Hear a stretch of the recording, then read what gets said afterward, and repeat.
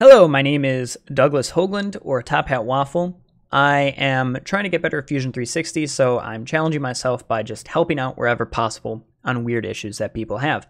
I came across this non-uniform bevel question where we want this hard edge um, along this curvature uh, with these other yellow and orangish lines uh, coming across. So I've ended up loosely recreating the body uh, from that Reddit post and this sketch profile that's going to go all the way to the end here. Let's pop back into this sketch with this profile and make sure 3D sketch is on. Going to include 3D geometry of this point back here. And then I need to create a spline. You can use any kind of spline, doesn't matter. going to create that point on that sketch profile and then go to the end. This is what we'll end up using to control uh, that hard line, this red line right here. Grab this point and move it up. And we won't mess with it too much. We just need it to exist. So OP said that loft didn't work. And let me show you what happens if we uh, do end up using loft. So if we end up lofting from this point to this point, and we chuck some some guide rails on, it gets uh it gets a little weird um, if we're being honest. And when we select all of those, and we will add a uh, join, it looks all right um, from the outside.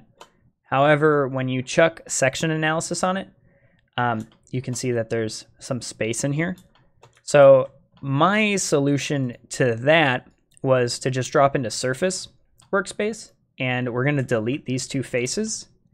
So now we just have, uh, you know, a surface non-solid.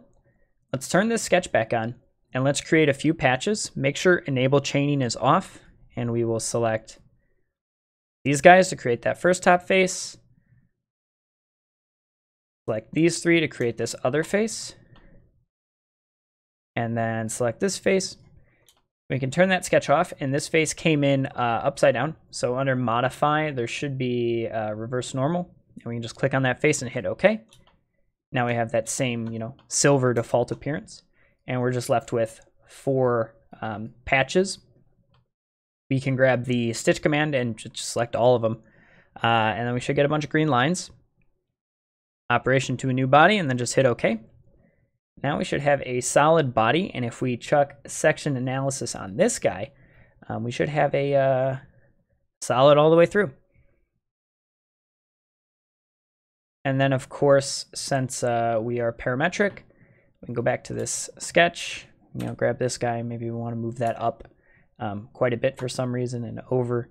Hit OK. Finish sketch. There we go. Let's go ahead and bring that back to something a little more, a little more tame. All right. I hope that does it. Um, there's always a bunch of different solutions to the same problem in Fusion 360. This is just the way that I decided to tackle it after running into that issue with Loft. Um, if you have any questions, let me know.